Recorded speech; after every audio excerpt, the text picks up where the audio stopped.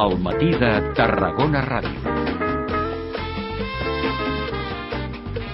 Matí de Tarragona Ràdio d'aquest eh, dimecres us volem presentar l'Assemblea Nacional de Catalunya. Aquí a Tarragona faran eh, precisament l'acte de presentació pública aquest eh, proper dissabte, 17 de març, a partir de les 6 de la tarda al campus Catalunya de la Universitat Rovira i Virgili. El moviment, aquest moviment sorgit de la societat civil, es va constituir formalment el passat cap de setmana amb un acte multitudinari al Palau Sant Jordi. Avui ens acompanya al matí de Tarragona Ràdio el coordinador, el portaveu de l'Assemblea a la comarca del Tarragonès, Albert eh, Cortés. Albert Cortés, molt bon dia. Hola, bon dia. Què és l'Assemblea Nacional de, de Catalunya?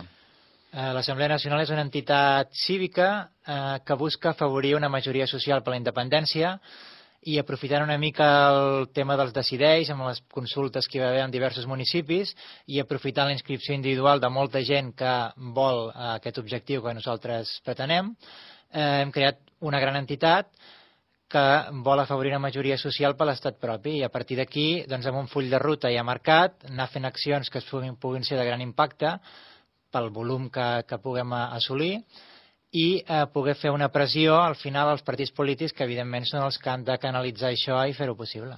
L'entitat es va constituir eh, dissabte passat al, al Palau Sant Jordi, no? És el punt d'arrencada, la posada de llarg i dir, a partir d'aquí comencem.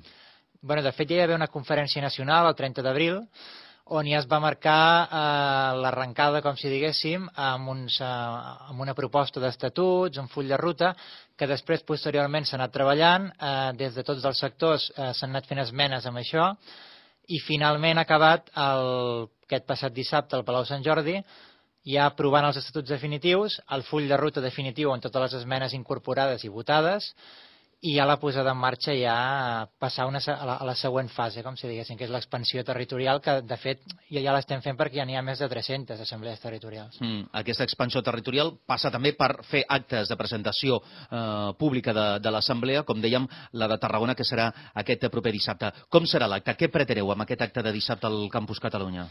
Bé, nosaltres a Tarragona es vam constituir a final de gener, a partir d'un nucli inicial que poderen unes 20 persones, i a partir d'aquí doncs, hem anat creixent, fent reunions obertes, amb gent que s'ha anat adherint, i, i la, la presentació oficial davant de la ciutat serà eh, aquest dissabte, on tindrem com a ponents a l'Oriol Grau, que és el director de Trona Villegas, mo- molt conegut aquí a Tarragona, eh, tindrem el Pere Pugès, que és del secretariat de Barcelona i que explicarà una mica els ets i uts de, de l'assemblea, el full de ruta i el que pretenem, i després tindrem a la Patricia Gavancho, eh, que és una escriptora arge- argentino-catalana molt coneguda, i a part d'això eh, hi haurà un cantautor tarragoní, que és el Josep Romeu, que ja ha fet bastants concerts i ja té un parell de, de discs, i eh, hi ha un grup de grellers doncs, que ens interpretaran el cant de la senyera al començar l'acte i a l'acabar l'acte els segadors. Què preteneu amb aquest acte? Quin és l'objectiu? L'objectiu és, cap, és donar-nos una visualització, captar el màxim de gent possible, que molta gent, ja no tan sols els convençuts, perquè aquest no cal anar-los a buscar perquè ja estan convençuts, però els que encara diuen què és això o, o tenen dubtes o han sentit parlar-ne, doncs que s'acostin, que vegin exactament les nostres pretensions i, i donar-nos a conèixer com una entitat més dins de, de, de Tarragona, i en aquest cas ja amb abast del tarragonès. Mm, com es pot participar de, de l'Assemblea? Cal afiliar-se com si fos un, un partit polític? Eh, no, bueno, a, a veure, eh, tenim una web que és www.assemblea.cat, allí hi ha un formulari per inscriure's i, i a partir d'allí eh, hi ha unes quotes, mm, són 4 euros al mes, vull dir, és una cosa bastant simbòlica, que d'aquests repercuteixen, d'aquests 4 euros repercuteixen en les assemblees territorials corresponents i a partir d'aquí doncs, iniciar una col·laboració. La inscripció és totalment individual, no s'admeten associacions o, o, o partits, per exemple. Això també va quedar molt clar el dissabte que es va votar una esmena que deien si es volien presentar en uns comicis i per unanimitat va sortir evidentment que no.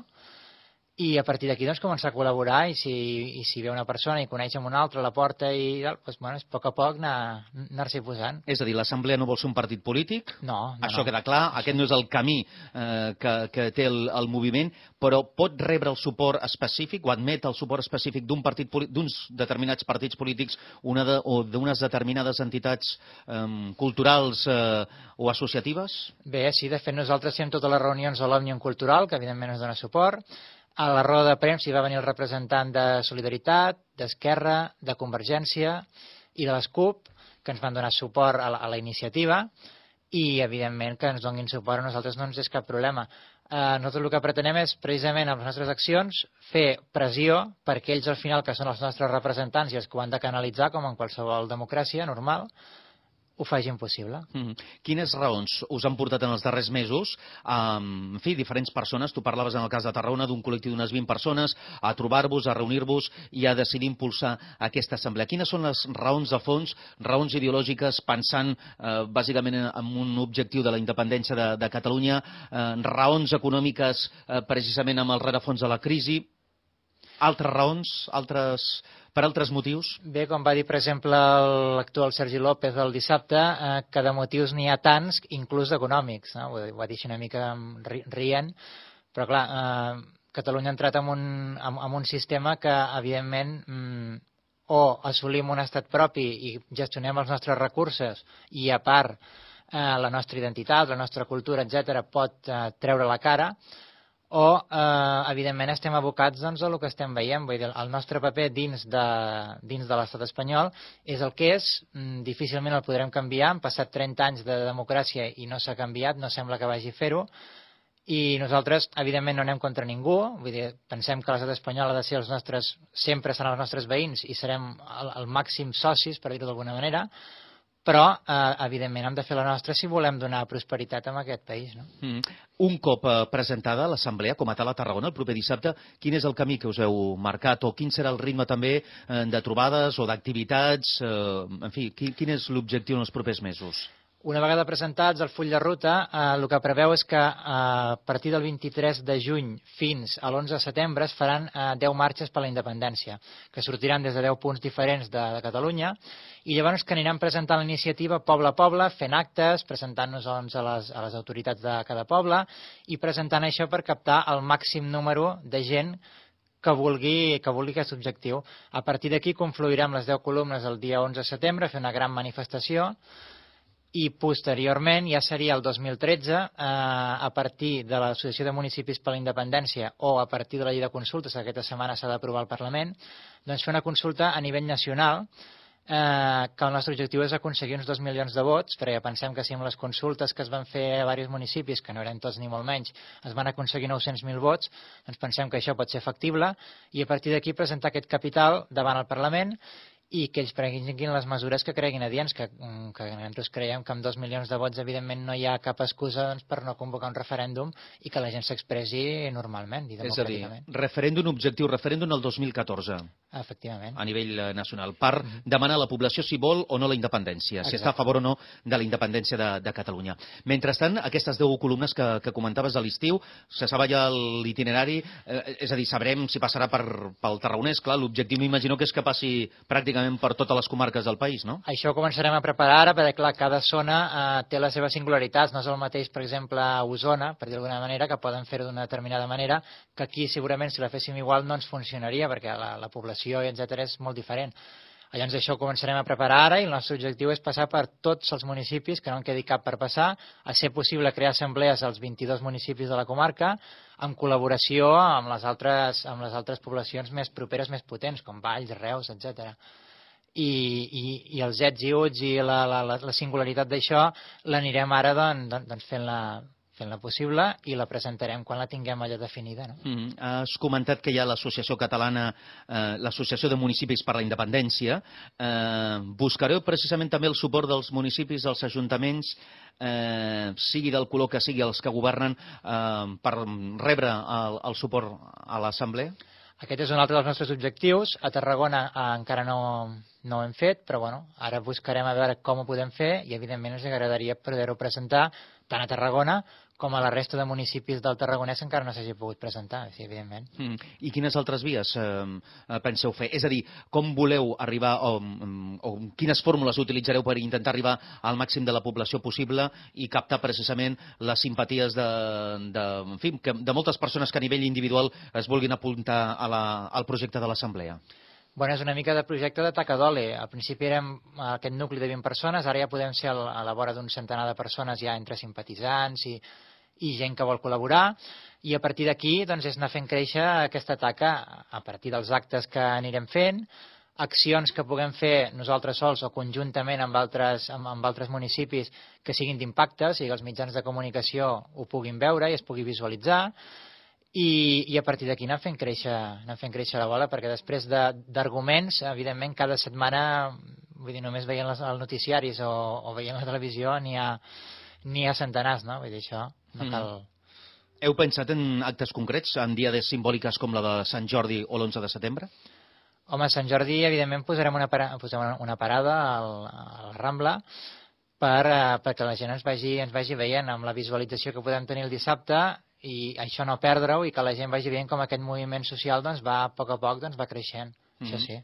Punt de trobada? És a dir, teniu un punt de trobada, és la seu d'Òmnium Cultural, on us trobeu, eh, teniu una manera periòdica d'aquestes persones anar-vos reunint. Qualsevol persona eh, que pugui estar interessada en contactar amb vosaltres, quina és la manera de, de fer-ho?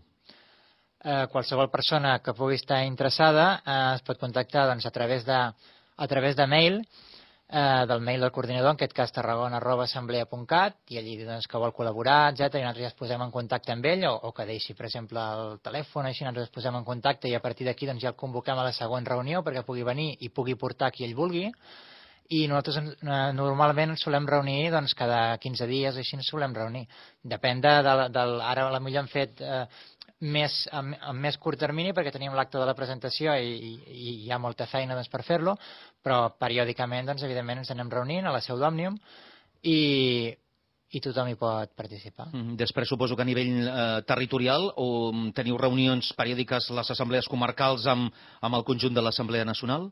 o com funciona? O encara no heu decidit la, la fórmula de, de, en fi, de funcionament com a tal? Bé, de fet, a Barcelona hi ha un secretariat, que és el secretariat a nivell nacional, i ara s'incorporen, que això es va aprovar en els estatuts, eh, tres persones de cada... Està, Catalunya l'hem dividit en 10 zones i llavors tres persones de cada una d'aquestes zones que s'incorporaran també en aquest secretariat. I llavors que faran les reunions i seran, com si diguéssim, els representants d'aquesta zona en el, en l'òrgan central. No? Mm. Acabo. En un moment en què una bona part de la societat desconfia dels polítics i de la classe política i dels partits, eh, us fa por o temeu, vosaltres com a membres de l'Assemblea Nacional, que també l'entitat quedi eh, xuclada d'aquí un temps o vulgui ser xuclada per les formacions polítiques? És un perill, però precisament per això eh, hem aprovat que mai ens presentaríem en uns comicis i a part d'això la inscripció és individual i evidentment vetllarem perquè això no succeeixi, que hi pot haver intents i que eh, si l'assemblea va creixent i cada vegada té més nom, doncs qui pugui haver tentacions d'això, és evident, però intentarem que això no succeeixi. Ens els partits polítics, evidentment, no anem en contra dels partits polítics i sabem que els necessitem i sabem que al final el capital que nosaltres puguem aconseguir com a societat civil són ells els que hauran de revertir davant de la, de la ciutadania. És, en definitiva, és la seva feina. Mm. Doncs aquesta és la filosofia de l'Assemblea Nacional Catalana catalana. Eh, la presentació aquí a Tarragona es farà el proper dissabte, no, Albert? Dissabte a les 6 de la tarda a l'Aula Magna de la Rovira i Virgili, l'Avinguda Catalunya. Al Campus Catalunya de la Universitat, a l'Aula Magna, un acte obert al públic en general amb la participació de Pere Pugès, membre del secretariat de l'Assemblea, Oriol Grau, director, actor de teatre, en fi, un tarragoní ben conegut, i també l'escriptora Patricia Gavancho, que ha fet diverses obres precisament a favor de la independència de Catalunya. Això serà el proper dissabte a les 6 de, de la tarda. Albert Cortés és el portaveu de l'Assemblea eh, de, de l'Assemblea Nacional Catalana al Tarragonès i avui ens ha explicat els detalls de l'acte i els objectius d'aquest nou moviment sorgit de la societat eh, civil. Albert Cortés, moltes gràcies i molta sort. Moltes gràcies i convidem a tothom a que vingui a l'acte. Gràcies, bon dia.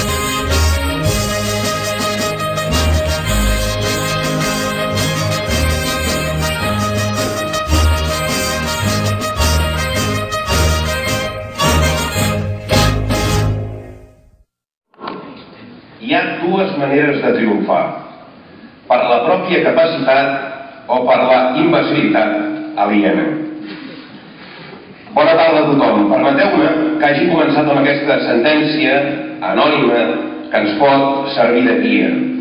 Esforcem-nos, doncs, per tenir la capacitat de triomfar a la nostra lluita. Dit això, benvinguts en nom del Tarragonès per la Independència a l'acte de presentació de l'Assemblea Nacional Catalana un cop constituïda oficialment fa només una setmana. Em comenten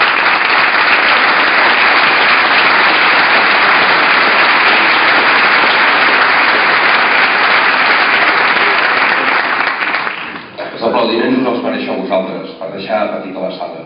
Una coseta només, mm, abusant de la confiança.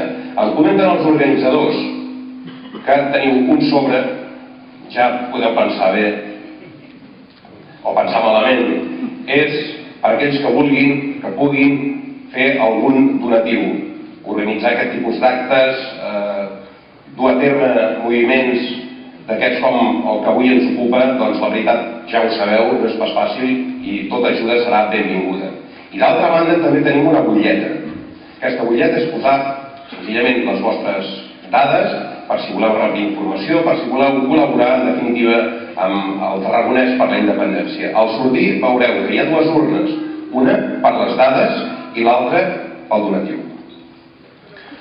L'Assemblea, ja ho sabeu, és un moviment de la societat civil que treballa per afavorir una majoria social que reivindiqui l'estat propi. No m'estendré a la cronologia ni a les passes seguides, però sí que recordaré que al darrere hi ha uns dos anys de treball. Treball que dissabte passat va portar a la constitució definitiva de l'Assemblea. Hereus d'aquella assemblea dels anys 70, ara volem anar més enllà, traçant un full de ruta, fent-nos sentir i fent-nos veure, per alt als nostres polítics que demanem un referèndum pel 2014. Ja són més de 300 delegacions de l'Assemblea a tot el país. La de Tarragona es va constituir a finals de gener i ara som aquí, presentant-nos i presentant a la vegada l'Assemblea Nacional Catalana. Som molts, cada cop serem més. Per començar l'acte ho farem amb música, amb sons de la nostra terra, amb un cant, a mi particularment, que em posa la pell de gallina. Ho farem amb el grup de grallers Sona. Presenten una proposta renovadora del típic ball de gralles, mantenint la forma tradicional de dues gralles i un timbal i experimentant amb bases musicals contemporànies respectant el ball de gralles de sempre. La seva directora és Roser Oliver, que des dels 4 anys aprèn a tocar la gralla a la colla vella dels Xiquets de Valls amb el mestre vendrellenc Jaume Vidal i Carboner. Ha creat l'Escola de Grallers de Vallmoll i l'Aula de Gralla de Tarragona i forma part del grup de ministres i grups de gralla Sonat del Camp de Tarragona, dels quals n'és la directora. És responsable de l'àrea de gralla de l'Aula de Música Tradicional i Popular i exerceix de professora a Barcelona i Vilaseca. Sonat interpreta el cant de la senyera.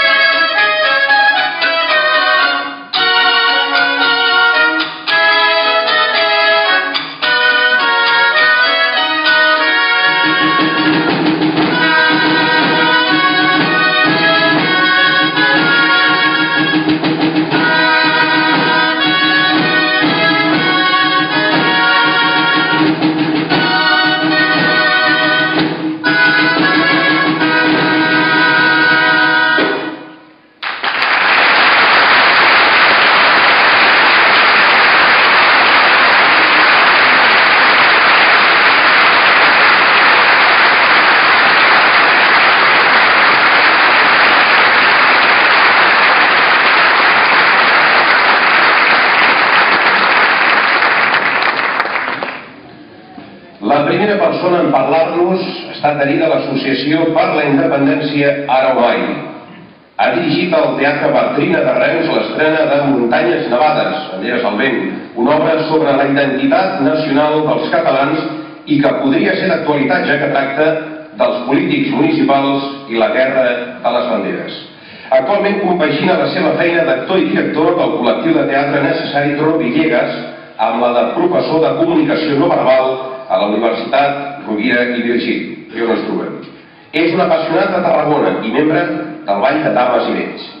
Ja sabeu que es tracta d'Oriol Grau, tarragoní, si no m'equivoco, des dels 5 anys. És guionista, músic, actor i director de teatre i de televisió. Precisament en el món de la televisió ha desenvolupat força tasques i a TV3 ha ostentat càrrecs importants. Recordar també la seva vinculació amb la productora El Terrat, entre moltes d'altres coses. Un aplaudiment per Oriol Grau.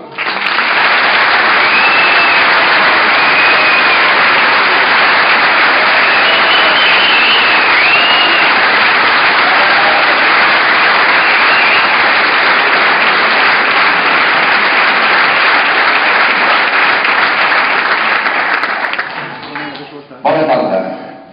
Em fa molta il·lusió ser aquí perquè he seguit les presentacions de l'Assemblea Nacional Catalana arreu del país, a través del YouTube, a través de la premsa, i per fi toca a la meva ciutat.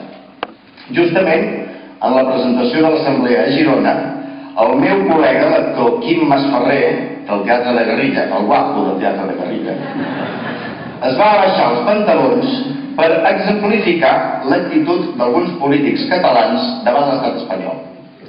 Una manera molt il·lustrativa d'explicar-ho que no imitaré. Jo avui no em baixaré els pantalons. En primer lloc, perquè les cuixes del Quim Masferrer són d'escàndol. En comparació a les meves. Diríem que les seves cuixes són com les columnes aquelles de Montjuïc i les meves són com l'arc de Barà. És a dir, que no compararem. I després perquè Girona no és Tarragona. Si un acte com aquest d'avui, o a Girona, en què es van aplegar 1.700 independentistes i va parlar el seu alcalde, i dies més tard, el consistori va votar a favor de la insumissió fiscal, va al Masferrer i s'abaixa els pantalons, què hauria de fer jo a Tarragona amb el panorama que tenim?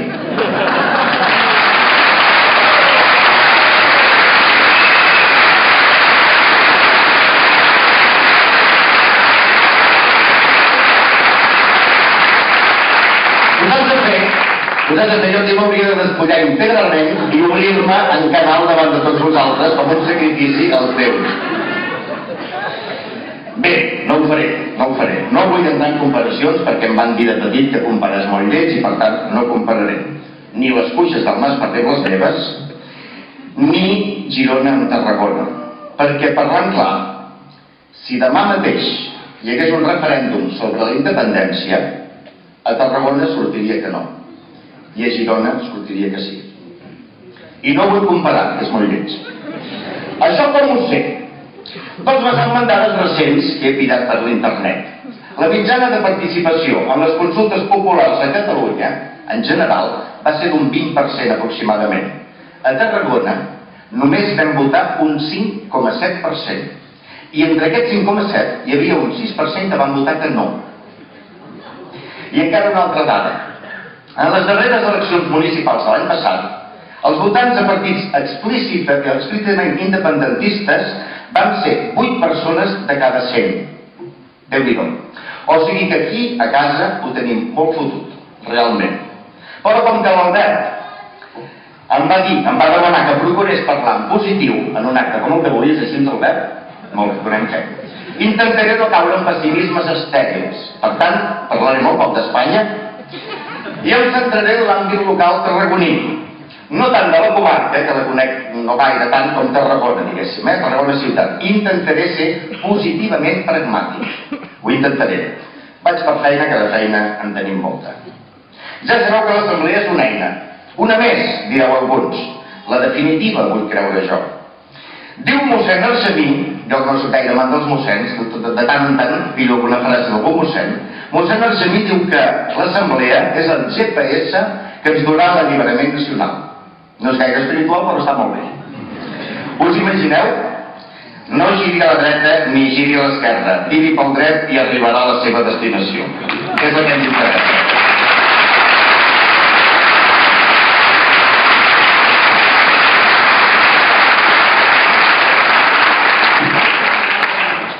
Ja, l'Assemblea Nacional Catalana dibuixa el full de ruta que passa per diverses fases amb l'objectiu de construir una majoria interna favorable a la independència entre la ciutadania catalana en un referèndum a celebrar l'any 2014. Ras i curt, és així. Això vol dir que durant aquest any i mig aproximadament, més o menys, cadascú de nosaltres, d'aquest 8% que parlava d'independentistes tarragonins, ha d'haver convençut a set tarragonins indecisos, com a mínim, perquè aquell dia del 2014 votin en clau independentista. I puguem treure uns resultats propers al 56%. Eh? La multiplicació és fàcil. 56% de vots favorables a la independència. Tant de bo. Perdoneu que us mereixin xifres, jo que sóc més aviat de lletres, però és que la democràcia també és aritmètica, vet aquí. I si traguéssim uns resultats, una, una majoria una mica ampla aquí a casa, doncs vulguis que no ens trauríem aquesta fama de ser una de les capitals més espanyoleres del país. Quins procediments hem de seguir per, per convertir nous independentistes? Eh? Això és com escampar la paraula. Però pot dir rara. Doncs per començar, molta atenció. Hem de triar les persones que volem convèncer. Sempre l'indecís i el dubtós. Jo descartaria els unionistes recalcitrants perquè no hem de perdre ni el temps ni l'energia. Quines ganes de discutir amb espanyolistes que encara creuen en el dret de conquesta. Ah, una pèrdua de temps. Quan, comencem a, quan comencen a treure l'argumentari de la història fan una mandra quan comencen a dir que Jaume I ja va dir que Espanya va bé, bé, No ens interessa això. Deia justament no fa gaire el professor Cardús que la identitat no està determinada per d'on venim, sinó per l'horitzó cap on anem. Doncs això, d'això es tracta. Un cop hem triat el possible votant indecis, en tenim tots, eh? veïns, germans, cosins. Un cop triat, jo no començaria preguntant-li directament tu què votaries en un referèndum per la independència? Si ho feu, voldrà dir que no heu tingut en compte la famosa abúlia tarraconensis. L'abúlia tarraconensis és un virus històric que afecta una bona part de la ciutadania d'aquesta ciutat amb símptomes tan perjudicials com la passivitat, la indiferència, la desídia, el desinterès, etc etc etc. O sigui que el més probable és que aquest indecís et respongui el referèndum? No, no, jo vaig a la parcel·la que avui tinc una consulta. En canvi, una pregunta més capciosa, que pot enganxar més pel morbo que comporta, és aquesta. Tu què creus que passarà l'endemà de votar la independència? D'entrada ja dones per sentat que la cosa serà.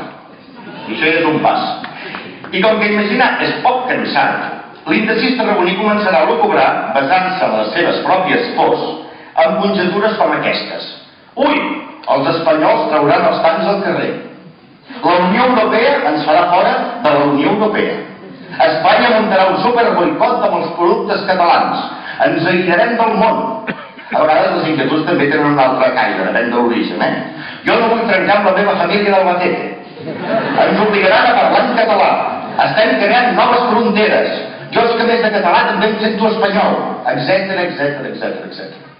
Per totes aquestes preocupacions, que ens poden semblar puerils, però són reals, necessitem tenir respostes convincents. Vet aquí la nostra feina. Algunes les trobarem en llibres, o a l'internet de la mà d'entitats com el Centre Català de Negocis, la Fundació Catalunya Estat, el Cercle d'Estudis Sobiranistes, Unió Cultural, la mateixa Assemblea, etc etc. Però no estaria malament poder comptar amb un formulari de preguntes i respostes sobre l'endemà de la independència.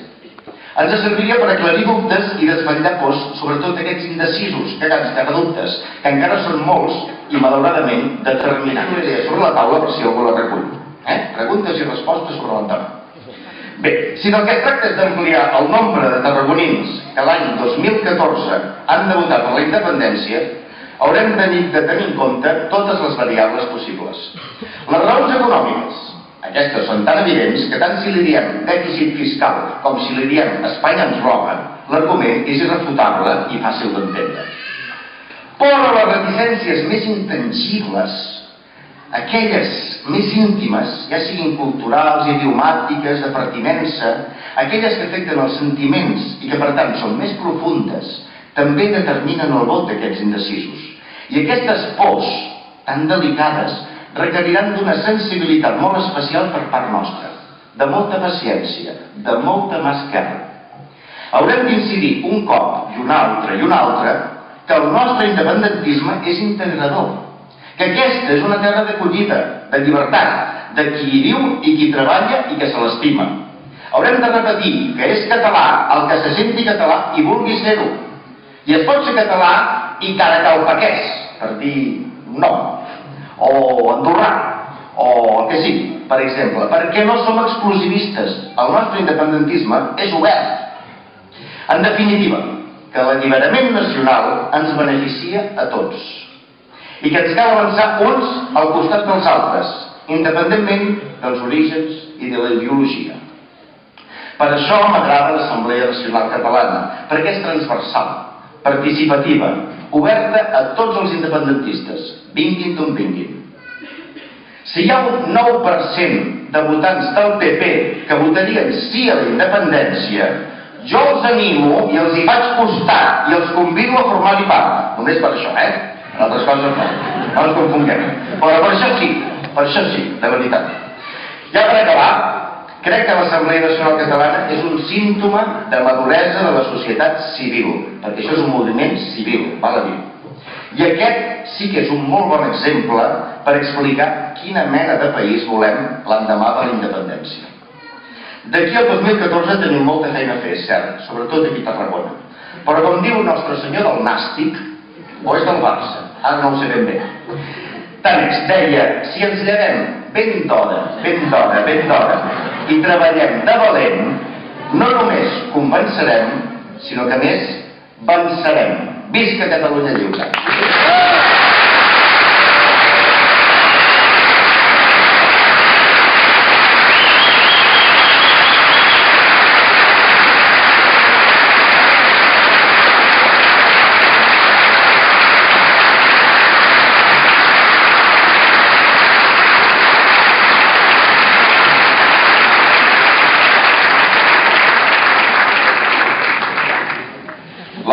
Convidada que ens parlarà a continuació combrega amb el moviment sobiranista català. Ha fet diverses col·laboracions amb institucions reivindicatives de la cultura catalana com Òmnium Cultural. La seva ideologia l'ha dut a participar en actes de partits recentment formats i declaradament independentistes com Solidaritat i Reagrupament sense que hagi arribat a militar en cap dels dos. Col·labora en diversos mitjans de premsa i ràdio en tasques de difusió cultural i participa en les principals tertúlies mediàtiques catalanes. També col·labora habitualment amb el diari Ara. Us parlo de Patricia Gavancho, periodista i escriptora argentino-catalana. És filla de l'intel·lectual argentí Abelardo Gavancho. Va estudiar la nostra llengua al Casal Català de Buenos Aires, on es va relacionar amb els dissidents que eren independentistes i d'esquerres. Es va traslladar a Catalunya un dia abans de complir 22 anys. Diu, per conèixer Barcelona i, compre i comprendre una nació sense estat. Patricia Gavancho és autora, en un primer període literari, de llibres descriptius de la cultura catalana, com ara el segle XX, a través de les àvies, o la postguerra cultural a Catalunya. Va canviar radicalment el seu estil, coincidint amb la retallada de l'Estatut i la sentència del Tribunal Constitucional per dedicar-se a escriure sobre temes de caire independentista en llibres com El preu de ser catalans i Crònica de la independència. Justament amb l'assaig Crònica de la independència és l'autor català en la categoria de no ficció que més llibres va vendre el Sant Jordi de 2009. Un aplaudiment per Patricia Calís.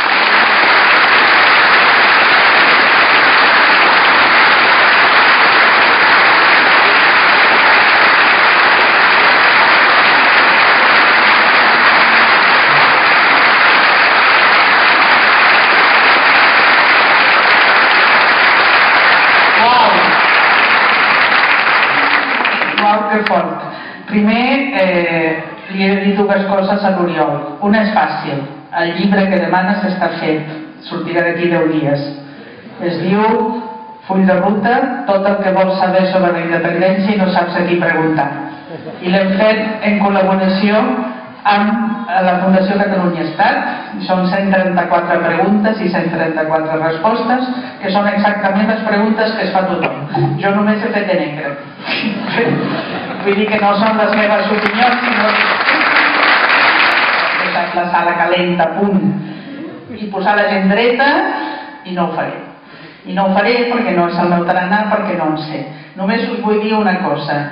Eh, jo vaig fer les, les, els bolos, la gira de les consultes sobiranistes en actes com aquests, molt més petits, molt més petits, però també molt transversals, molt il·lusionats. Bé, vistes ara que estic fent els bolos de l'assemblea, la multiplicació de l'energia, no ja de la gent, de l'energia, és a dir, surts d'aquí com si t'haguessin donat un bany d'estímul de, de, i jo realment tens la sensació que això ja no ho atura ningú i que a més a més lògicament no ens ho deixarem prendre de les mans el moviment popular torna a estar en marxa i torna a estar en marxa com ho va estar ara fa 30 anys pel mateix, per la llibertat i això és absolutament bàsic. Ara, deixeu-me posar-me una mica més seriosa i parlar una, parlar una mica de, dels arguments, de, del que no sabeu del que ha passat en aquests 30 anys,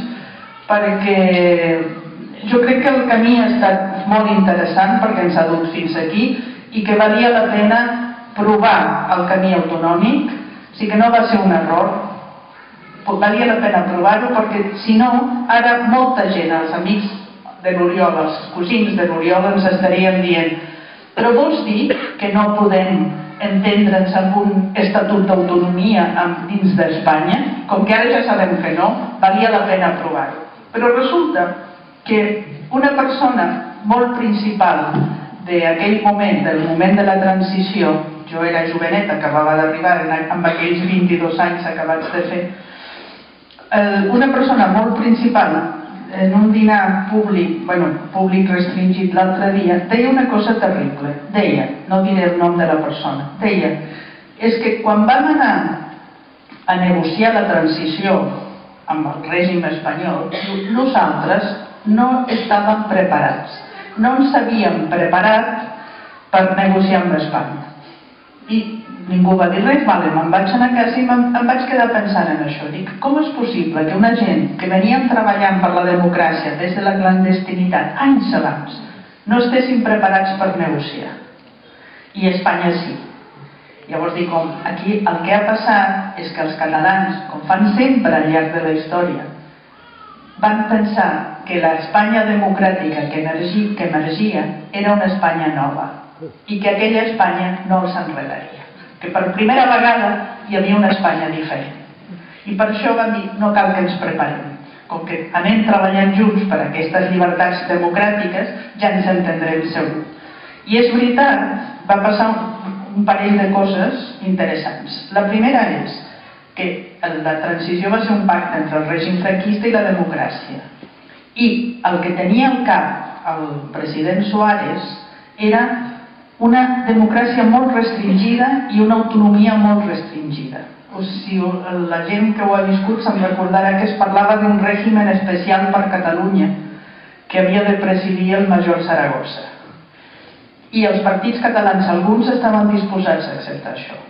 Però què va passar? Que hi havia el moviment popular, la gent, una minoria de gent, molt organitzada, ingrescada, amb una energia semblant a la que estem vivint ara, que va fer saltar les costures d'aquella limitació i va imposar una autonomia, unes llibertats, un esclat democràtic que va anar molt més enllà del que el règim espanyol estava disposat a donar.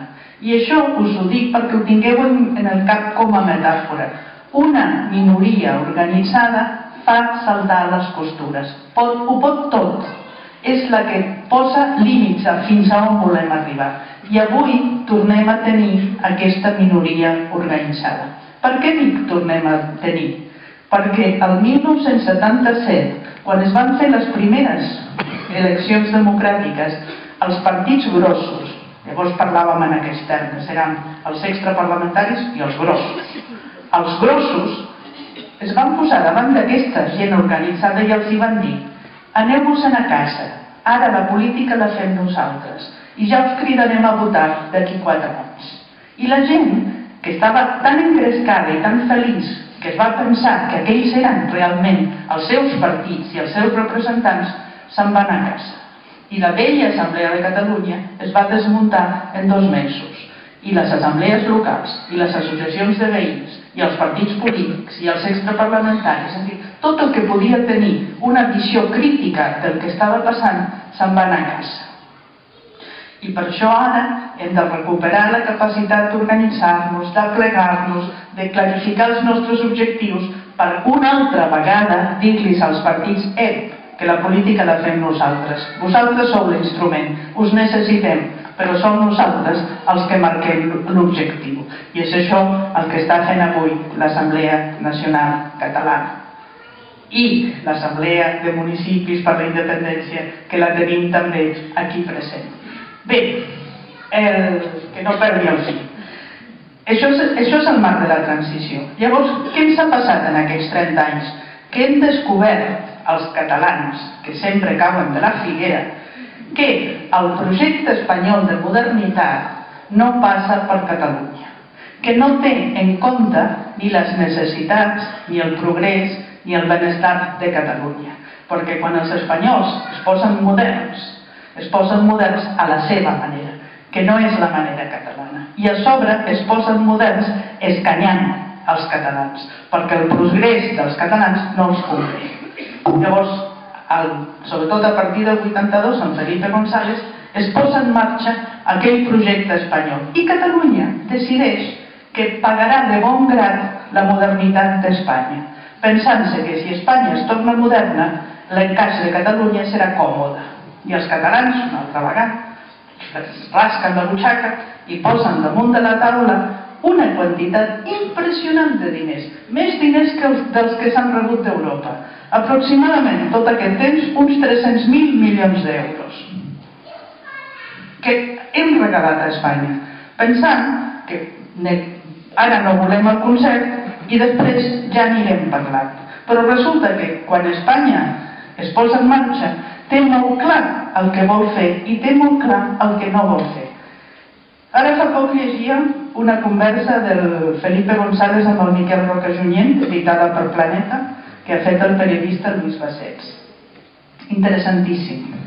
El Felipe va deixant anar tot el seu desparpajo, dient-les de l'alçada d'un campanar, i el Miquel Roca dient, ai, sí, sí, sí, ai, sí, sí, quanta razón llevas, quanta razón tienes, quanta razón tienes. Bé, una de les coses que diu el Roca és però no ens vol fer el corredor mediterrani. I el Felipe li contesta, tienes razón. Diu, però saps què passa? Diu que hi havia un factor identitari contrari a l'interès d'Espanya que ens impedia fer una planificació racional. Espanya és això. Espanya és això. Els trens són identitaris. El corredor mediterrani que els romans van fer fa 20 anys, fa 20 anys, 20 segles, Espanya no l'ha fet en 30 anys perquè un factor identitari contrari als interessos d'Espanya impedia una planificació racional. I això ho explica sense cap problema. I el Roca li diu, ai, quines coses! Eh? I continuen conversant. I en diu tres o quatre més d'aquest calibre. Bé, ara ja no cal parlar de dèficit fiscal, ja no cal parlar d'infraestructures, ni d'aeroports, ni de ports, ni de carreteres, ni de, de res. No parlem de tot això, ja ho sabem. Jo crec que aquí tots teniu un argumentari. Llavors, quina és la trampa actual? La trampa actual és dir-nos ah, aquest independentisme és de butxaca, la gent és independentista pel dèficit fiscal. I jo dic, escolta, si algú és independentista pel dèficit fiscal, benvingut sigui. Tothom té dret a ocupar-se del futur dels seus fills. Però no us enganyeu. Aquest independentisme és de consciència nacional. Aquí som catalans conscients, nacionalment conscients. I aquest és l'independentisme que és el que fa que els catalans conscients tornin a ser els protagonistes de la història, tornin a ser el motor de la societat. I això és molt important. I quan la gent pregunta quina Catalunya fareu, jo dic, escolta, serà una Catalunya democràtica i entre tots decidirem quina Catalunya farem. Però una cosa és molt important, que sempre que Catalunya ha tingut un bocinet de poder, ha fet quatre coses, o sigui, ha posat en marxa quatre, quatre objectius. La modernitat, Europa, l'excel·lència i el progrés social. Això des de sempre, des de sempre. Això és la identitat catalana. Això i expressat en llengua catalana. Això és la identitat. I això és el que avui és el motor del país. Què ens passa avui?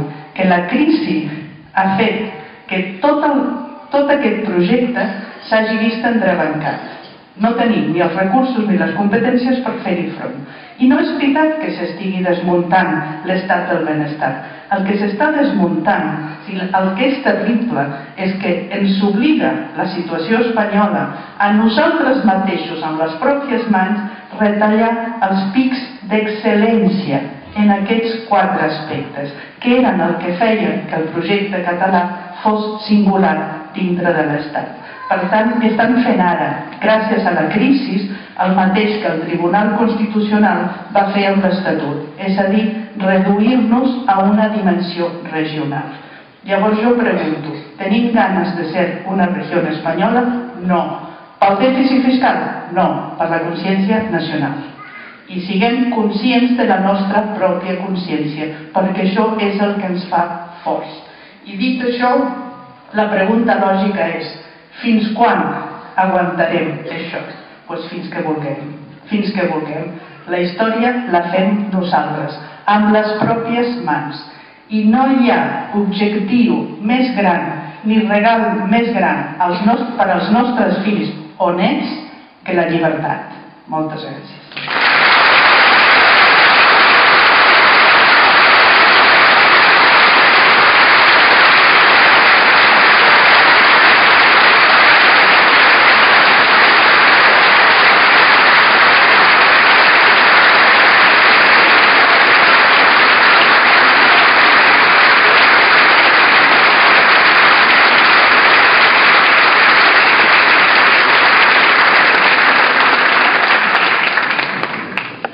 encara en són més d'independentistes ara, no? Bé, ara és el moment ideal per retornar a la música a través de la veu i els acords del cantautor Josep Romeu, un dels valors artístics que ens ha donat la ciutat de Tarragona, aquest que ens dona encara, i queda molt per endavant.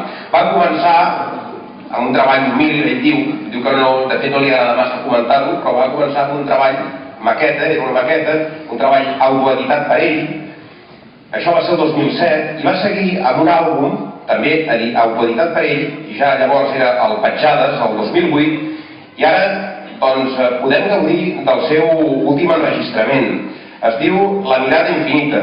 És un àlbum, la veritat que està molt bé, és del 2011, de temps rècord. Precisament en aquest nou disc, Josep Romeu tracta temes de compromís social, així com d'altres més personals i intimistes a través d'una cançó d'autor que, a diferència del seu primer treball, compta amb marcades influències literàries.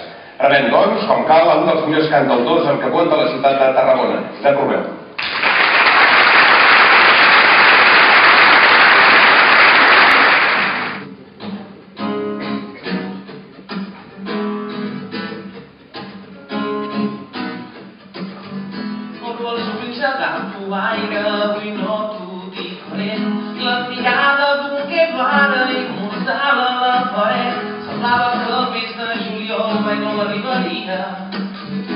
Romeu.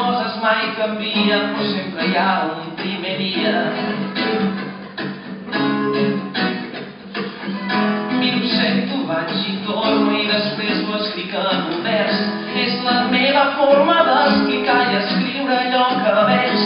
També el sé cantar quan no funcionen les coses. Doncs també sé que és de tant tant t'abandonin les forces. Que pari tot de tots els qui caminen regalant tros de vida en cada pas. Esperaré i l'únic que tindrem seran els somnis, però obrirem totes les portes d'aquest món. Oh, sigues l'única guia. Oh, serà només per tu la nit i el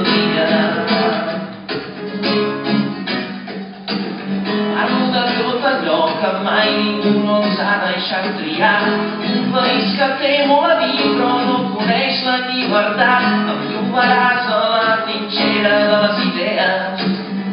Amb amor i per amor aquesta vida, aquesta terra. Quin camí s'ha per arribar al nostre lloc?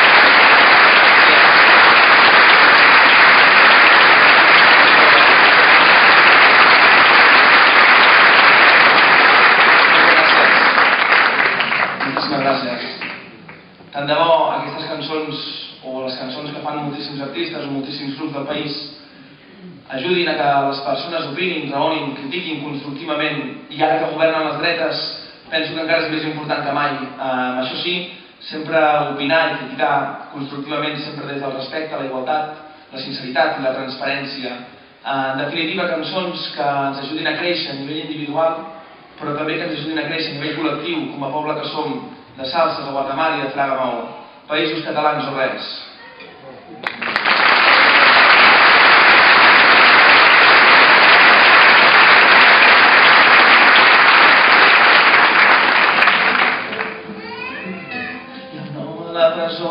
Avançaven. Junteu-vos, junteu-vos, traieu-li l'embaràs que li oprimeix les mans. Junteu-vos, junteu-vos, perquè faci camí, perquè faci camí, perquè faci camí.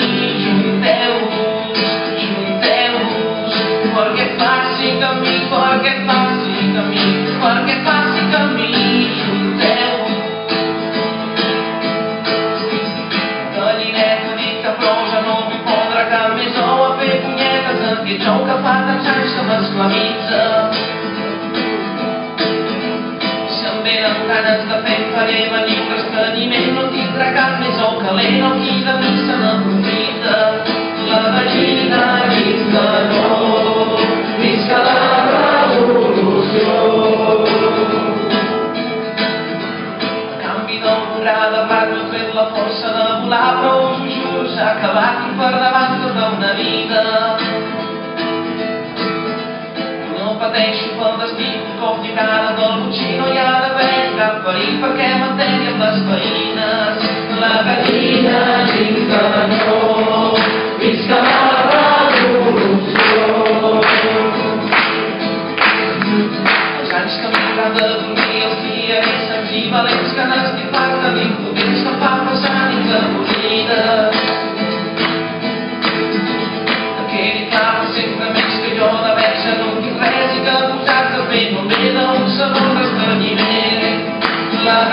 de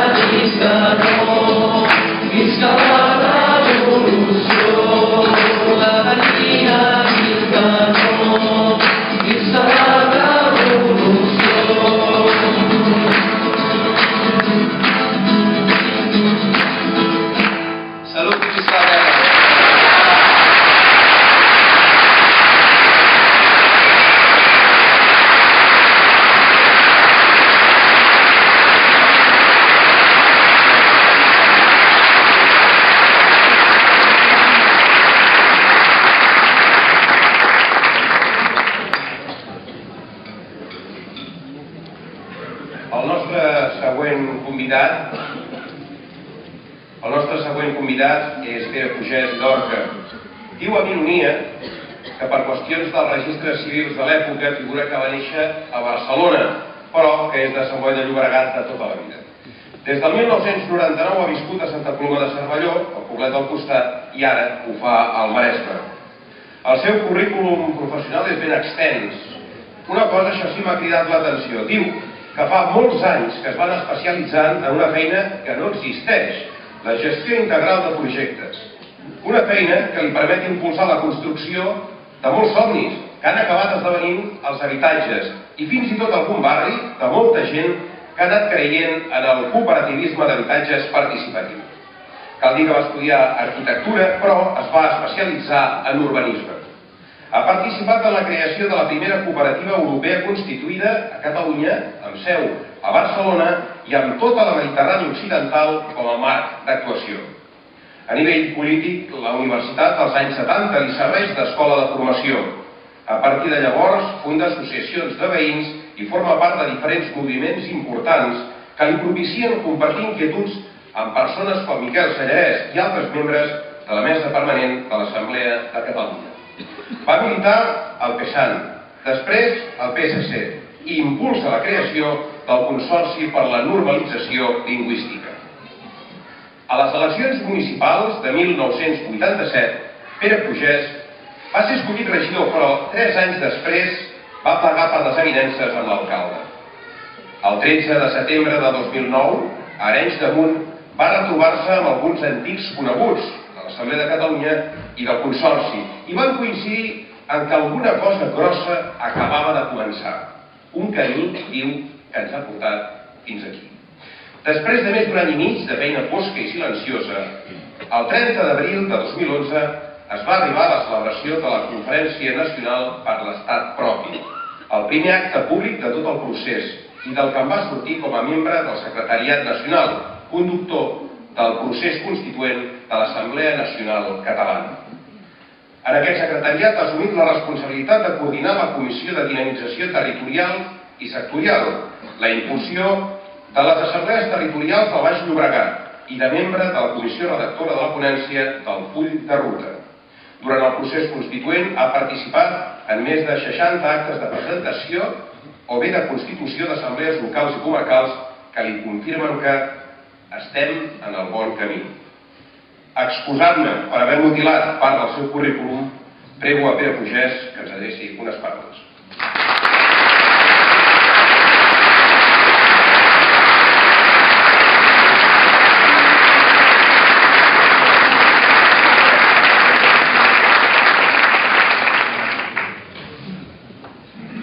podia haver escurçat, no, no l'ha mutilat.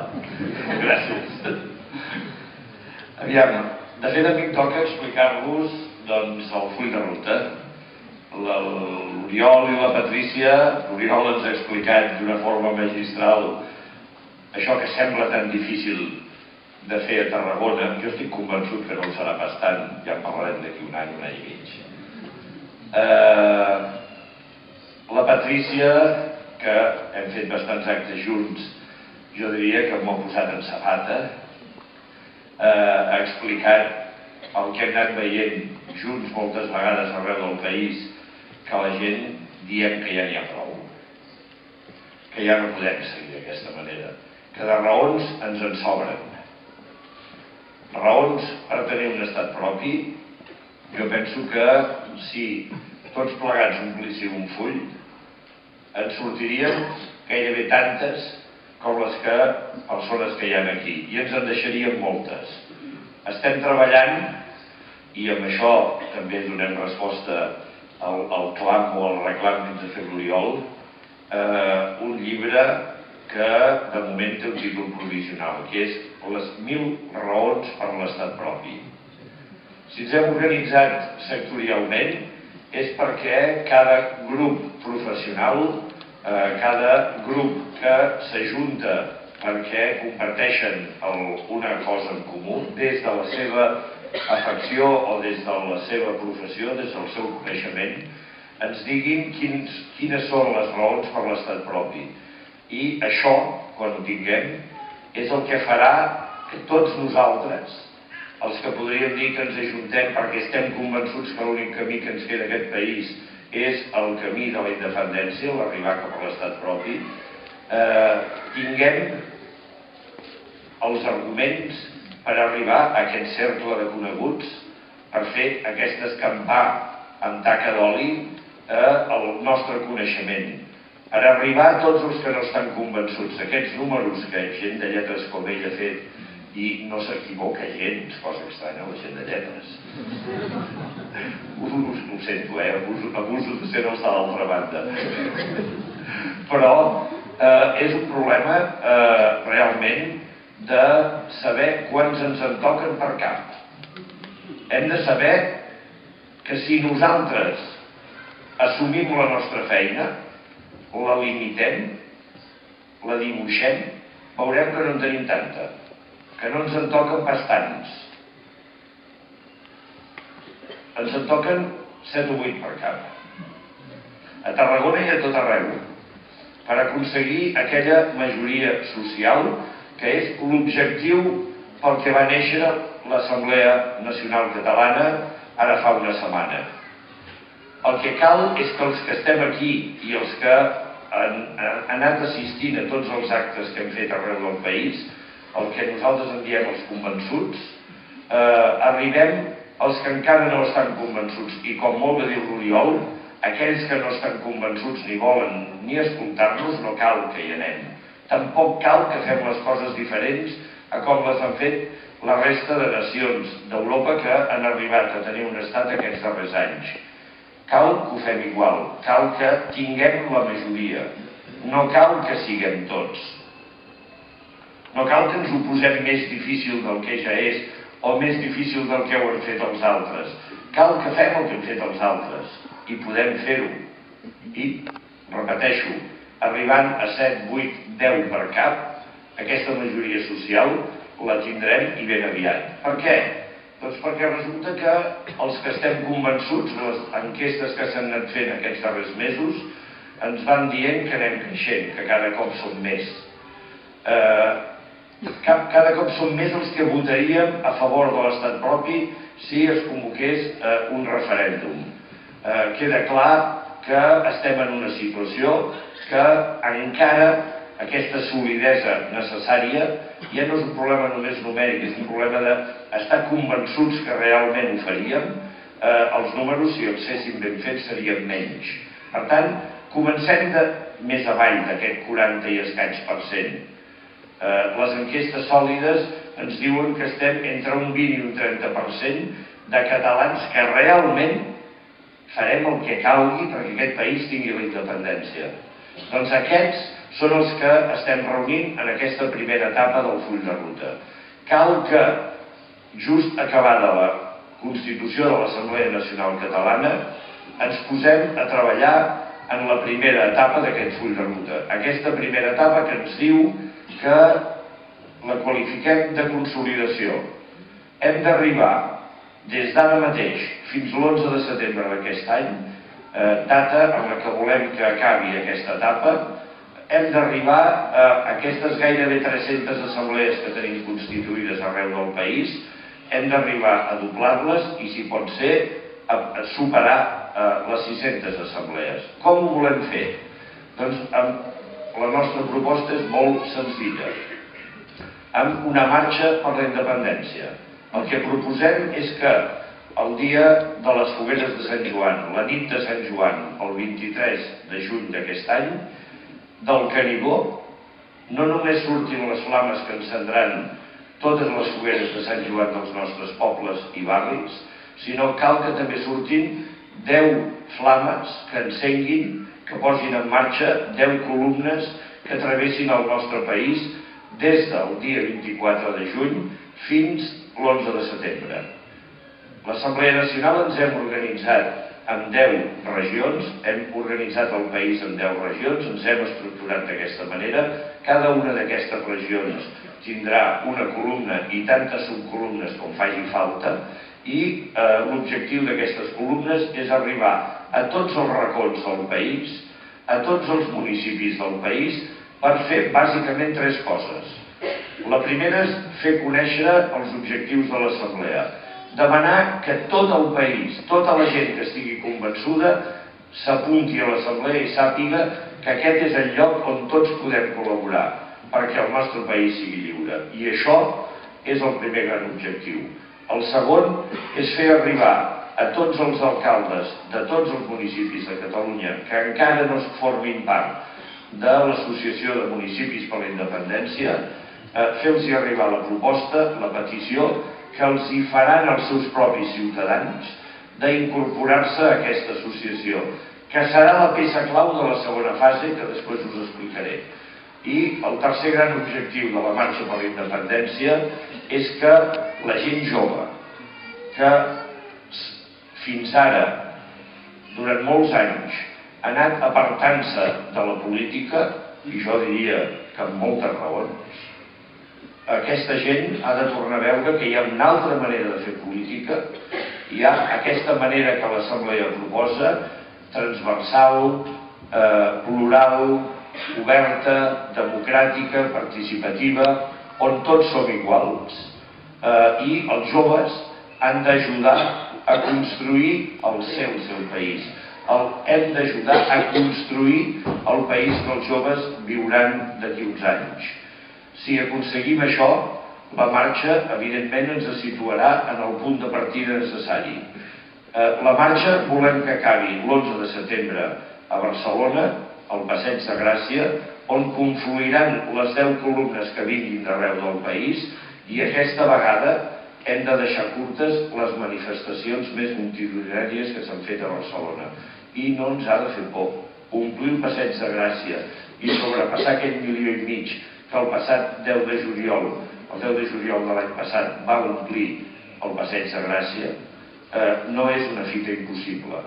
Jo diria que és una fita assolible i imprescindible.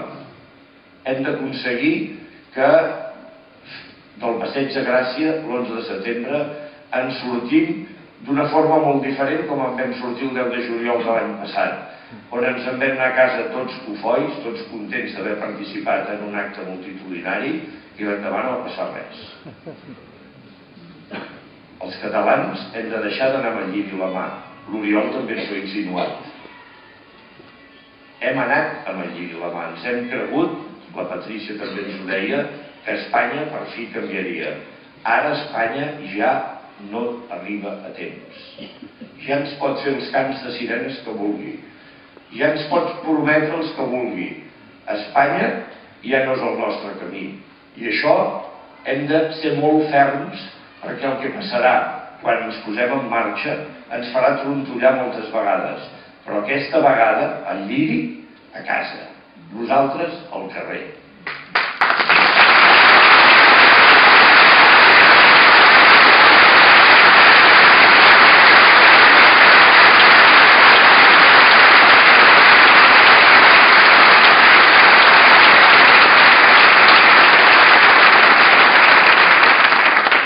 Després de l'11 de setembre, el full de ruta diu que iniciarem la segona fase, la d'obtenció de la majoria social.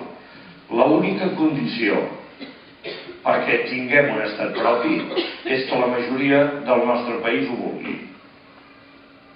No n'hi ha cap altra. No n'hi ha cap altra que puguem fer nosaltres. N'hi han d'altres. Per ser independents hem de ser reconeguts com a estat per tant, cal tota una feina de diplomàcia internacional que els catalans hem obviat masses vegades, que ja us ben asseguro que ja s'està treballant, i com diuen els diplomàtics, aquesta feina no vol soroll. Ells han de treballar sense soroll, però ells ens demanen que el soroll el fem nosaltres. Perquè ells ja no poden explicar més les diferències de Catalunya. El món ja les sap, però també sap que allò que els expliquen després és contradictori amb la realitat. La realitat va per un camí i el que expliquem va per un altre. Això ho hem de canviar. I el que els diplomàtics ens demanen, la gent que està arreu del món, els catalans que tenim escampats arreu del món ens demanen, és que fem soroll democràtic i persistent que no fem manifestacions i l'endemà ens anarem a casa, com us acabo de dir. L'endemà, el 12 de setembre, ens hem de remengar i posar-nos a treballar de valent. Per què? Perquè ens quedaran nou mesos de feina. Nou mesos en els que ens tocarà escampar aquelles mil raons per la independència que us deia fa una estona. Durant la fase que comencem ara, acabarem de treballar aquestes mil raons, les que necessitarem per convèncer a tothom que se'ns posi al davant, que vulgui escoltar.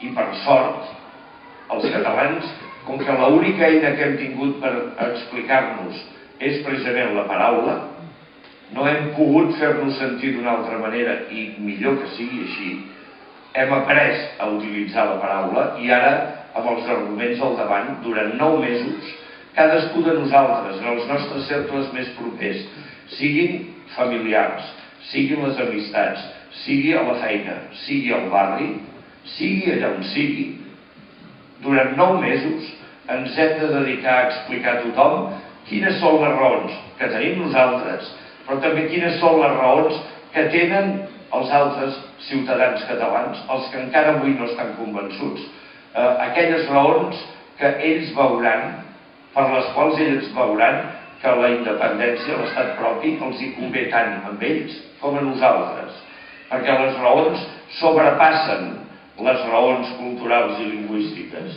Són raons de progrés, de justícia social, de benestar, de llibertat. I aquestes raons les entén absolutament qualsevol dels que volen escoltar. Per tant, aquesta és la nostra feina durant nou mesos. I el maig, juny del 2013, si hem fet la feina ben feta, eh, el tercer braç, i no és per treure-li allò de la numeració, eh, deixeu-me dir, un dels altres braços del moviment per la independència, l'Assemblea Nacional n'és un, la societat civil, les entitats de cada poble que fan també la seva feina en són l'altre, però el municipalisme d'aquest país és l'altre braç del moviment per la independència. És quan als nostres alcaldes i regidors els hi tocarà assumir la seva responsabilitat. Per això s'han organitzat com a municipis per la independència, perquè som conscients del paper que els hi tocarà fer eh, quan nosaltres haguem fet la nostra feina. I el seu paper serà, amb llei de consultes o sense, eh, convocar tots el mateix dia un referèndum, una consulta amb la mateixa pregunta. Una pregunta que serà més o menys semblant a la d'Arenys damunt, però que tindrem clar que serà inqüestionable, que eh, s'explicarà sola, que en definitiva ens estarà demanant si el que volem ser és el proper estat d'Europa. Ja la trobarem, la formulació, no cal que ens hi trenquem el cap ara. Tampoc cal que ens trenquem el cap per saber si aquesta consulta serà amb instruments legals, eh, fregant la legalitat o de forma alegal. Alegal vol dir senzillament no contemplada per la legislació actual, però durant aquests nou mesos prendrem consciència que la legalitat parteix del que nosaltres com a poble vulguem. I si nosaltres volem que els nostres alcaldes ens convoquin per saber si volem ser un nou estat d'Europa, ells saben que amb eh, lleis a favor o amb un marc eh, contrari ens tindran al seu costat i per tant ells assumiran segur la seva responsabilitat i sortirem del maig-juny del 2013 amb més de dos milions i mig, i aquest és el gran repte, amb més de dos milions i mig de catalans que haurem anat a les urnes i molt majoritàriament haurem dit que el que volem és ser el nou estat d'Europa. Aquest, gran, aquest és el gran objectiu de la segona etapa del, del full de ruta. El que passi l'endemà, de veritat que no cal que ens ho preguntem. No cal que ho escrivim. Està escrit, el full de ruta diu hi ha aquesta possibilitat, hi ha aquesta altra, hi ha la de més enllà. Però la nostra feina, aquella que depèn única i exclusivament de nosaltres, eh, serà arribar a aquell dia on hi hagi aquesta consulta arreu del país i on aconseguim entre tots portar-hi a més de dos milions i mig de ciutadans. Aquell dia haurem guanyat. No en tingueu cap dubte. aquell dia ja serem independents, perquè haurem fet l'esforç més important, haurem vençut totes les pots i direm amb veu, amb veu molt potent i molt clara a la resta del món que volem ser un nou estat. Després ja vindran les aplicacions dels convenis internacionals de com es fan les coses. Després el president Mas, que jo fins ara deia que no sabia quan es va presentar les eleccions que li tocaria a ell, l'altre dia em van dir que sí, que ja li ha arribat, que ja sap que ho estem dient, per tant ja, ja n'és conscient. El president Mas probablement li tocarà eh, fer allò de agafar i dir, nois, avui dissolt el Parlament.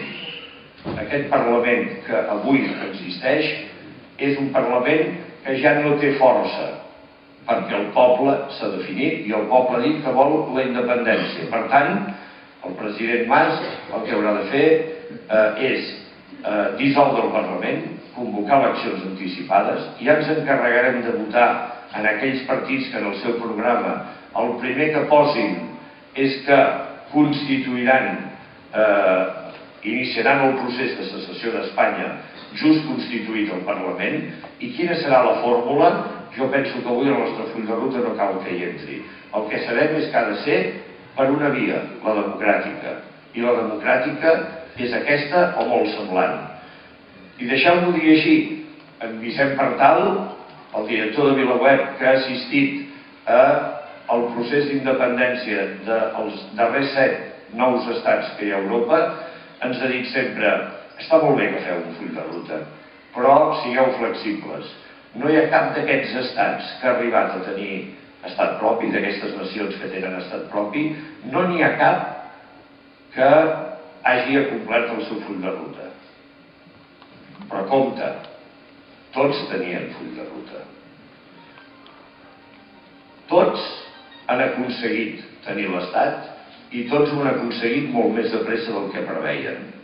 Per tant, la condició indispensable ja l'hem posada Tenim l'organització popular per tirar endavant un full de ruta. Tenim molt clar quin és el procés.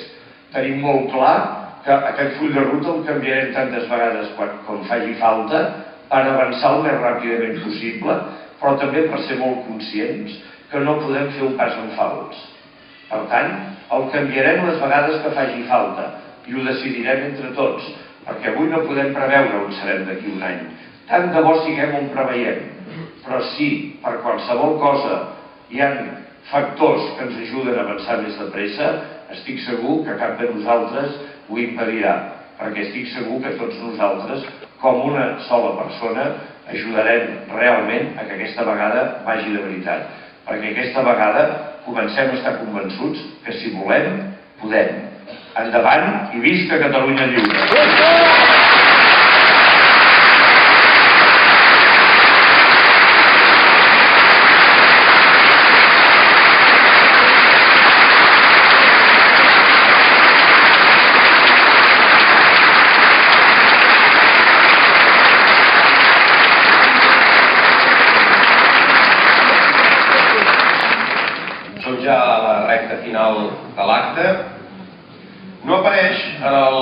De promoció de l'acte d'avui, però gràcies a que la seva agenda li ho ha permès, podem comptar amb la seva presència. Entre nosaltres tenim l'alcalde de Vic i alhora president de l'Associació de Municipis per la Independència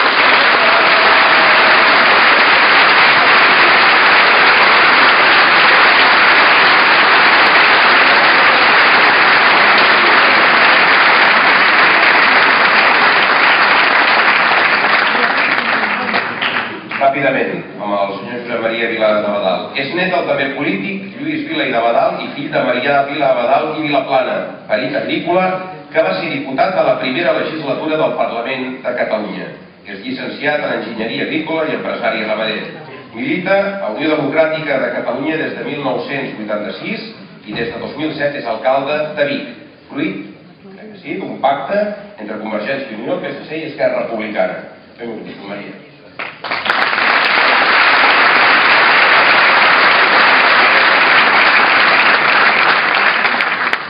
gràcies i moltes felicitats a l'Assemblea Nacional perquè a Tarragona també esteu plens. Ja n'hi ha prou, esteu molt plens aquí. Moltes felicitats.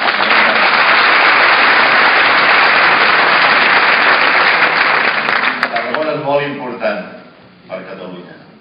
Nosaltres feu falta com tothom. Ens hi esmerçarem tots, vindrem d'on convingui, però també guanyarà l'independentisme aquesta terra. També el tarragonès serà independent, serà independentista, segur que ho aconseguirem entre tots. Mireu, eh, ja s'ha dit molt aquí, però jo voldria reafirmar un concepte molt, molt important que hem de dir molt clar. La sentència del Tribunal Constitucional va dir prou a Catalunya. Va dir que Catalunya no cabia dintre del projecte d'estat espanyol. Per tant, no hi ha segones i terceres opcions. S'ha acabat. L'única opció és l'estat propi. I això va dir una sentència. I a partir d'aquest dia va canviar radicalment la nostra societat en aquest, en aquest aspecte del nacionalisme. Uh, si em permets, Pere, l'assemblea, perdó, la, la, la manifestació que es va fer el 9 de juliol de un any i mig, sí que va canviar alguna cosa. I l'endemà va començar a passar moltes coses. I per això avui estem aquí tots plegats. I per això pogut fer l'Assemblea Nacional. Aquella manifestació ens va, ens va fer conèixer nosaltres mateixos. Perquè van, van convocar una manifestació per l'autodeterminació, que és un dret dels pobles, que és indegable, però van cridar tots independència. Tots van cridar allà independència. Ningú va dir autodeterminació, excepte algú de la capçalera que deia autodeterminació i no sabia no escoltava el que deien els altres, però tot el millor de catalans va dir independència, claríssimament, i aquell dia va canviar. I va servir per això. Igual que les consultes populars van servir per canviar també la por a dir-se un que és independentista i fer l'acte d'anar a votar sí, vull ser independent, sí, vull que Catalunya tingui un estat català. I va servir per això. Amb un 6%, amb un 44% de dir que és igual això. Però ja hi ha gent, ja hi ha una llavor, ja hi ha una espurna, que realment s'ha acostumat a dir que som independentistes i no passa res. Som democràtics, juguem en democràcia, a de la democràcia, és el dret dels pobles reconeguts per les Nacions Unides i per l'estat espanyol també ho va reconèixer l'any 97 el dret de l'autodeterminació dels pobles per tant nosaltres tenim aquest dret i està reconegut per l'estat espanyol i aquí ens hi hem és molt important. Per tant que nosaltres ens convencem nosaltres mateixos que podem ser independents i que és bo que siguin independents. Des dels municipis hem escoltat res més.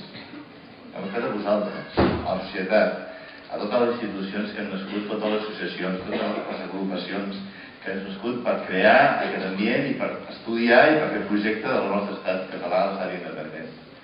I hem volgut doncs, posar-nos al costat del poble, perquè els municipis també són territorials, també formen part de la nostra territori, també són transversals, també ocupem tot Catalunya i no tenim ni pare ni mare.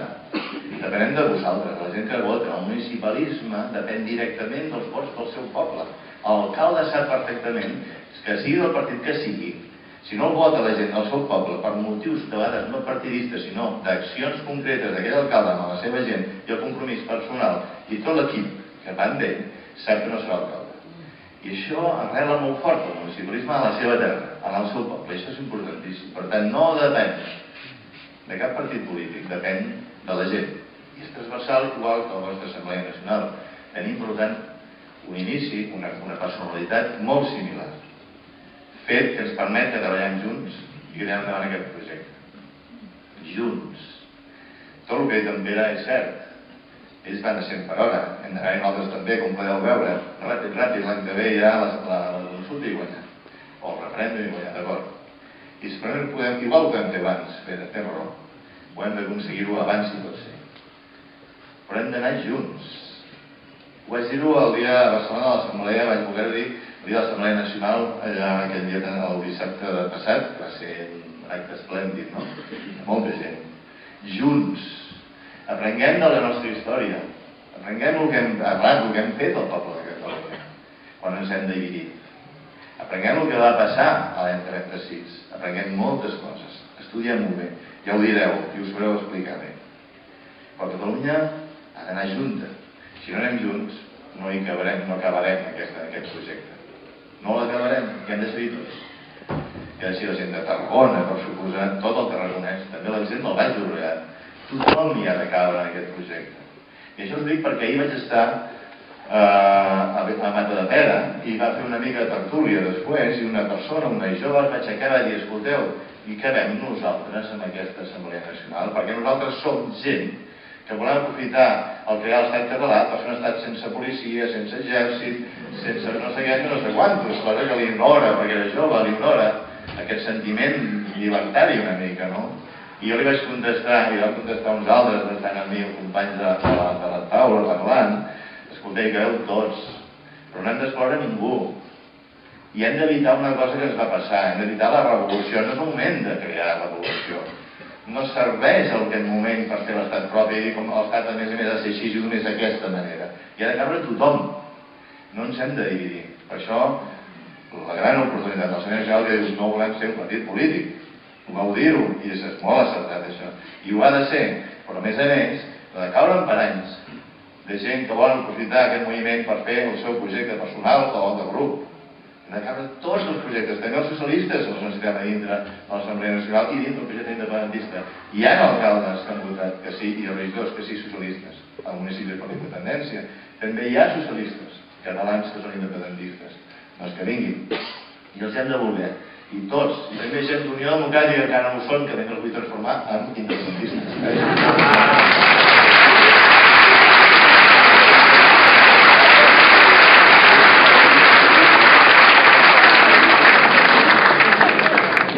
consti que el meu avi era fundador, com que ho heu dit, eh?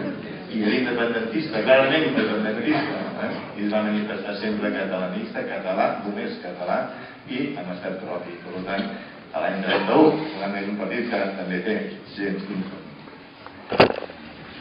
Perdoneu aquesta, aquest parèntesis. Eh?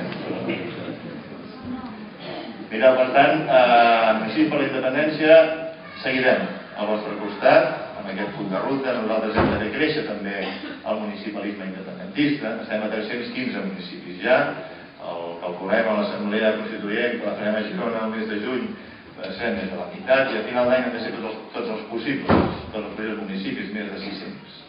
A final d'any. I crec que ho aconseguirem, perquè va per aquí la cosa. El ritme que portem serem això, no? I hem d'anar a buscar després la nostra capital, la capital del país, Barcelona, el cap i casal, comenci a pensar Barcelona que també es deu al seu país, que també ho ha de fer. I hem de convèncer tots plegats amb vosaltres, també, amb els regidors de Barcelona, perquè siguin formin part d'aquesta de municipis per la independència i per llegir que aquesta consulta que us deia el Pere i guanyar-la clarament. Hem de guanyar clarament. No ens podem equivocar els catalans ni un sol cop. Nosaltres no tenim un estat com el Canadà, mig democràtic, nosaltres no tenim molt un estat espanyol que no és gens. Per tant, no podem equivocar ni una vegada. Per tant, hem de guanyar la primera. Nosaltres hem d'intentar fer aquest pas. Ben segur, hem d'ajudar-vos a fer aquesta escampada de, gent perquè entrin, perquè agafar més, més, més, més persones d'una en una que vinguin a formar part del nostre club, em diria, doncs, d'independentistes que volem tan clar doncs, aquesta voluntat de poble. També hem de fer una cosa que el municipi pot fer, perquè el municipalisme és estat i pot fer-ho doncs, des de l'Estat. Vam fer d'explicar arreu del món, al món, què és el projecte català, què és el projecte d'estat català, que és inclusiu, que no és exclusiu, que és igualitari, que és social, que volem ser, que nosaltres volem ser, que és un poble que vol treballar dins d'Europa per Europa i pel món, que no només per Catalunya, que també per Europa i pel món. I hem d'explicar-ho, això també, és molt necessari. El municipalisme pensem que ho podem fer des de les institucions, tenim aquest avantatge i ho pensem fer, també d'acord amb vosaltres, però des del municipalisme com a representants d'una part de l'Estat, que ho som. Per tant, tenim aquest dret i ho volem fer. Després fer la consulta des de la institució. Serem valents, segur que serem valents, i la farem.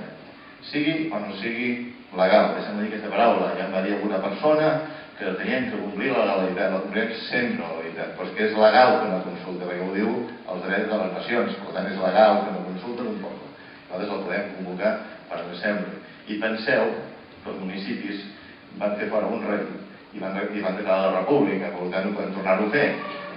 El rei, no sé si cal fer-ho fora o no, però no si encara, si encara hi serà no hi serà, perquè té molts problemes, la monarquia, però la república sí que el podem declarar. Per tant, atenció amb els municipis, atenció perquè som capaços de tirar endavant grans projectes i ho farem junts. Però repeteixo, junts, junts i junts. Cap, cap fissura sobretot, siguem obsessius amb això. Si no, aquí és on ens podrem.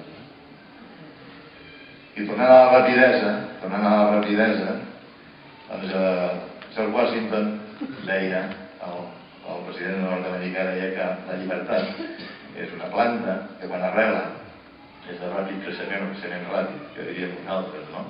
Nosaltres, l'Assemblea, amb 300 o 600, o municipis amb 600 o 700, estem plantant arbres, arbres per tot Catalunya, que creixeran i arrelaran i creixeran ràpid i valents.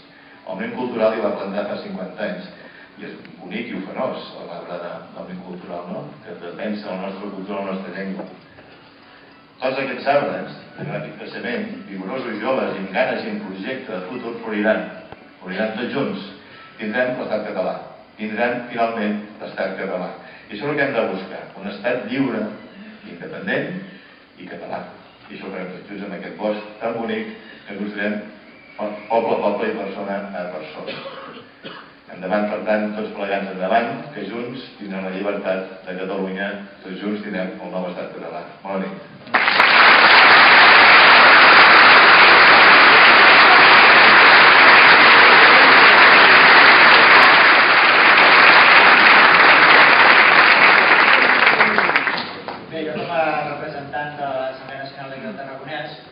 Eh, mica un comiat breu eh, d'aquest acte que hem fet avui. Primer de tot, i lògicament he d'anar d'agraïments. Primer de tot demanaria doncs, un aplaudiment i agraïment a tots els companys de l'Assemblea que amb el seu esforç i dedicació doncs, han fet possible que aquest acte eh, sigui possible.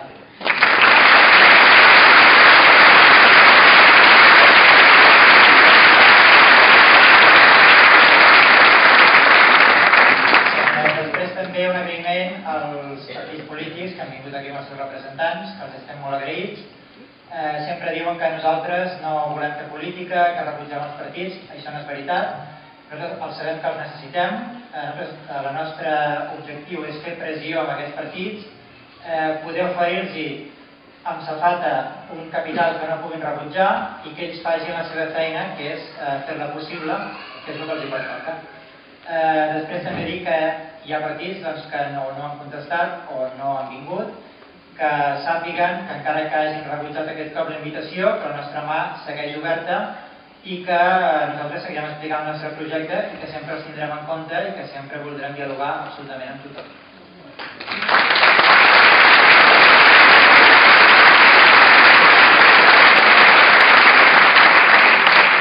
Després també agrair, eh, a pesar del deia l'Oriol, de no sé com ha fet anar aquest virus de la bolia tarraconense, això, eh, que és un nom complicat de dir, eh, que jo crec que això demostra la capacitat d'aquesta sala i la plena que està i el goig que fa de veure-la, i crec que demostra que a poc a poc, una mica com aquest virus intestinal que a poc a poc va, va, fent, però al final va passant, va passant, i jo crec que en aquests moments Tarragona també hi està passant. Eh, després agrair això, a tota la gent que ha vingut, eh, també eh, donar la bueno, en principi que nosaltres des d'aquí, des de Tarragona, doncs, seguirem treballant, seguirem el full de ruta doncs, que ens ha explicat el Pere, començarem a preparar doncs, aquestes marxes per la independència i altres projectes que tenim, i demostrarem que Tarragona, a pesar de tot això, també està en el mapa, també es belluga quan vol, i, i que l'Assemblea eh, crearà una llavor que entre tots doncs, hem de tirar endavant i hem de fer possible aquesta anhel que tenim, que és l'estat propi. Gràcies a tots.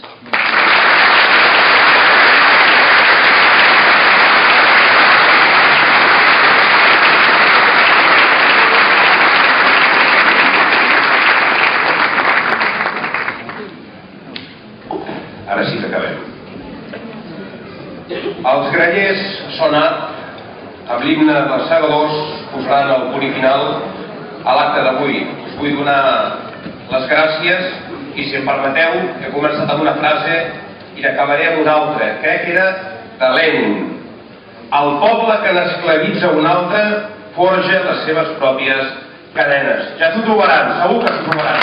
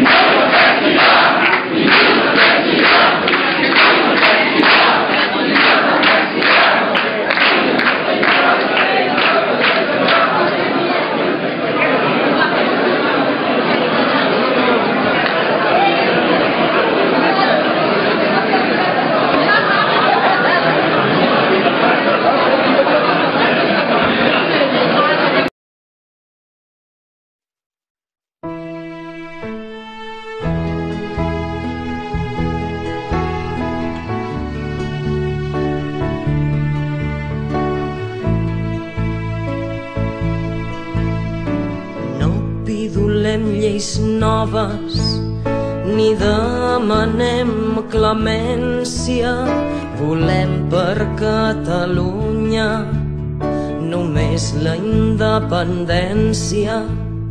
No pidolem lleis noves ni demanem clemència. Volem per Catalunya només la independència.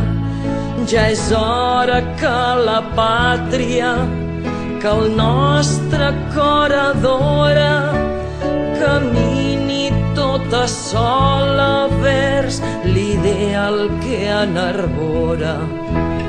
Bon punt vibri pels aires, el crit de via fora i la bandera santa uneixi a nostra vora fini el seu esclavatge la terra catalana